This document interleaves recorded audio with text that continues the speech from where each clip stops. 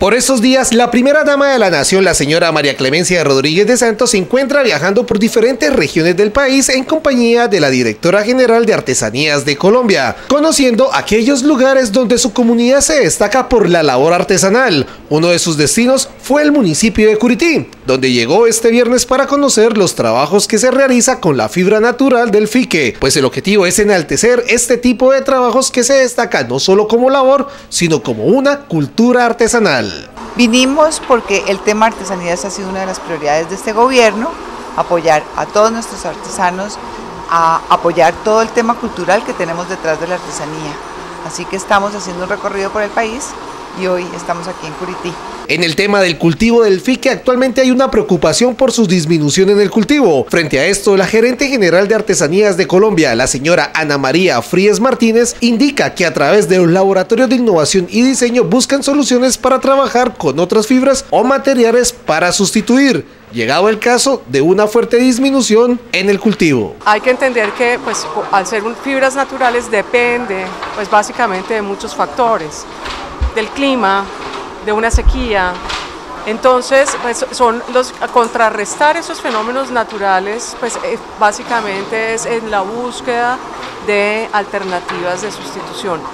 Nosotros en qué nos concentramos, por supuesto, estamos atendiendo el tema de materia prima, pero también en, la capacitación, en la, parte técnica. Eh, Artesanías de Colombia ha trabajado muy fuertemente en Curití logramos ya el tema de la marca colectiva, de FIQUE, de tener identificación de los diferentes talleres, de los diferentes eh, almacenes, de las tiendas que están trabajando con la marca colectiva.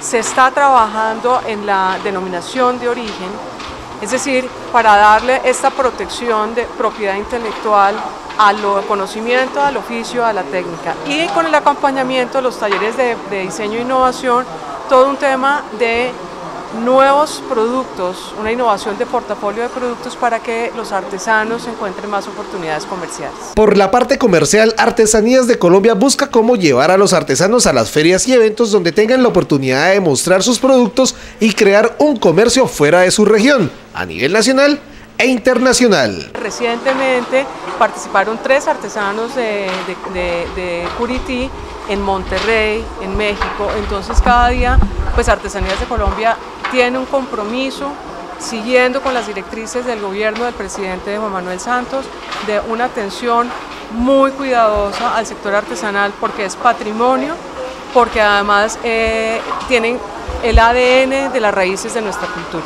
La empresa Artesanía Estelar de Colombia trabaja con los internos del Centro Penitenciario de Mediana Seguridad de San Gil. Allí hacen sus productos gracias a la fibra natural del fique, donde aprovecharon la visita de la primera dama para mostrar el desarrollo de sus trabajos artesanales. Y le contamos en el trayecto de hoy, le contamos algunos proyectos que están realizando, qué, qué, qué estamos haciendo en este, para ir a unos eventos nacionales e internacionales que estamos eh, trabajando de aquí a noviembre de este año.